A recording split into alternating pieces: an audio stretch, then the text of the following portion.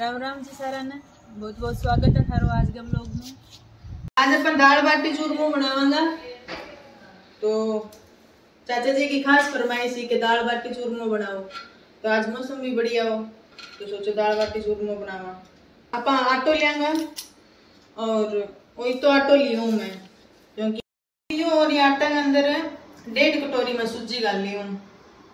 डेढ़ कटोरी सूजी डाल ली और आधो चम्मच नमक आधो चम्मच बेकिंग सोडा मीठो सोडो जो आप गाली करा खाण में यूज़ करा। वो डाल लियो और सूजी, आटो, नमक बेकिंग सोडा और ओ घी लियांगा आप एक कटोरी। इन्हें मोन देवांगा ताकि बाटी अपनी बहुत ही सॉफ्ट सॉफ्ट बने।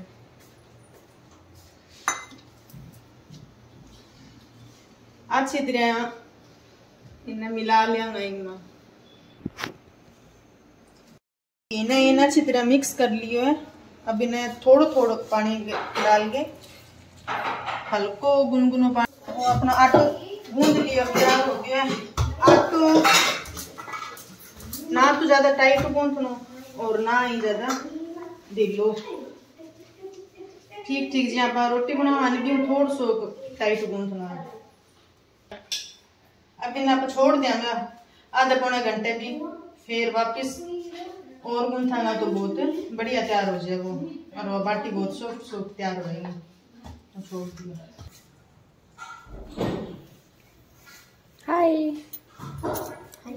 हाय हमने सामान ऊपर ले आया ऊपर सेट करी है किचन किचन तो नीचे ही है पर नीचे दूसरो गैस है तो भी पर वो स्टैंड सेट कौन बैठा है? तो वो चूल्हो सेट करियो।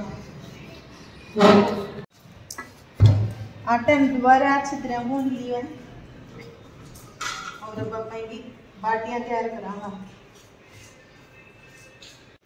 हाथ थोड़ा चिकनो करके, और ज़्यादा बड्डी कौन बनानी नहीं ठीक ठीक बनानी है। गोल गोल करके, और फिर हमें इं करांगा अपन इं करके फिर हमने वापिस ऊपर यहाँ बंद कर देंगे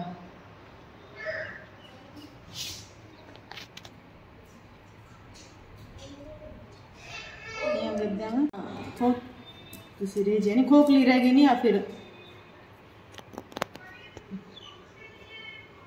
जल्दी पकेगी, जल्दी सीजेगी। यहाँ करके आप सारी की बाटी तैयार कर लेंगे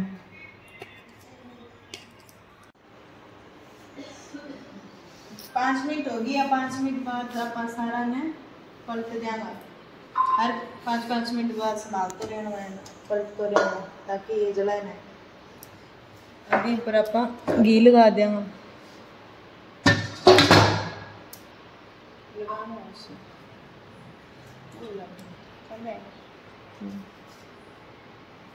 ब्रश है। कल शॉपिंग करी मैंने ही कोई भी जिया परांठा वगैरह बनावे तो पर घी लगान भी और मैं ऑनलाइन देखो फिर मैं भी सोचूं मैं भी ले गया वहाँ तो बाज़ार गया बाज़ार में देखियो तो फिर मैं भी ले ली। आप जिया चम्मच वगैरह उसी तो घी लगावा तो ज़्यादा गिर जाए ज़्यादा वेस्ट हुआ है यूँ जितनी ज़रूरत हुआ अपन भी तो ही लागे बड़ी है फालतू कौन लागे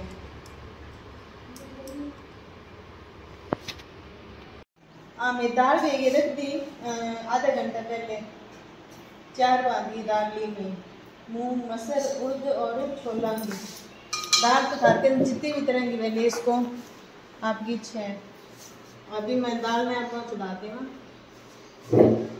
दाल में अब तो सिर्फ़ नमक और हल्दी डाली है और थोड़ा सा तेल डाल लिया है। तड़को बाल में लगा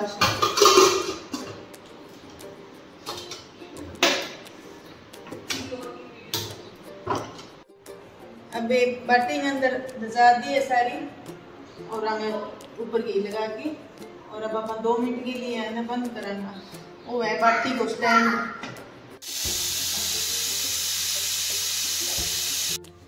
बाटी बन गई है, और बाटी बन जाए नहीं थोड़ी सी यहाँ पिचका के और घी में रख दिया, मिनट और डेढ़ मिनट तक रख दिया, ताकि घी ये अंदर अच्छी तरह उड़ जाए और फिर निकाल ले से अगर चूर में, चूर के खावा इच्छा होगी तो चूर में चूर के भी खास का, वो भी स्वाद लग गया, नहीं तो सीधी भी यहाँ दाल सागे खास के, कि सीधो भी खाना हो तो। लहसुन और लाल मिर्च की चटनी बनाई है। दाल भी बनाऊँगा एक बार चटनी बनाई है? आप रख दिया मैं।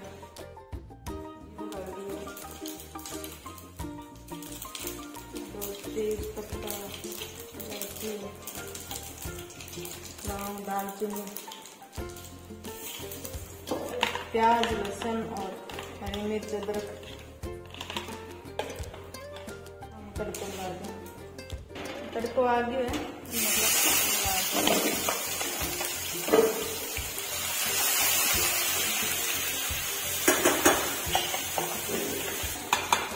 टमाटर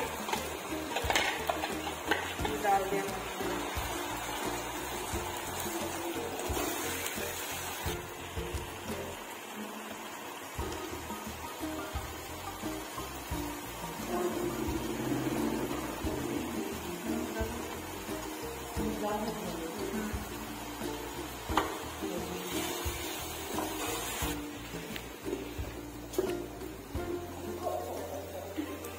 हाँ कसूरी मेथी गिरी है अंदर।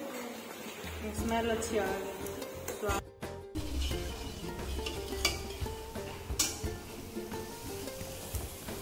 तड़को तैयार हो गई बिल्कुल अभी अंदर दाल मिला दिया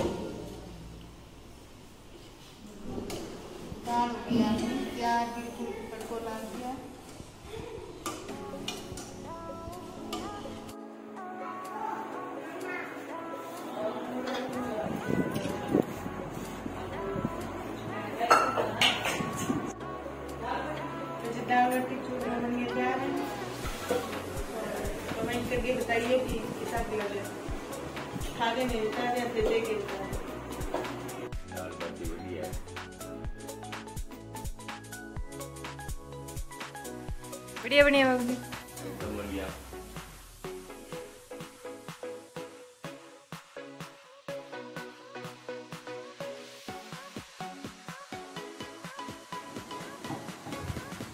दाल बाटी चूरमा तैयार हो गया है और खान लग गया बाप ये बेटी है। छः बजे खान लग गया। सब्र को नहीं हुई? डिनर टाइम होना है दूसरा और खा लिया मैंने।